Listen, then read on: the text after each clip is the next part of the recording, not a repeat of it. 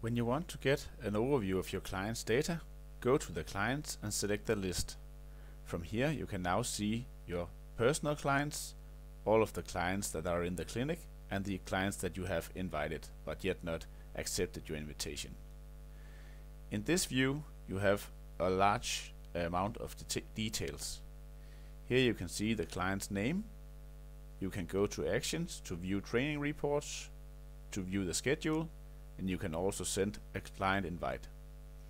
You have the possibility to see the client's data. You can see the amount of Q points they have accumulated the last 30 days. You can see the upcoming training plan. You can also assign a new training plan. And you can see the last training notes that has been sent back and forth to you from the coach.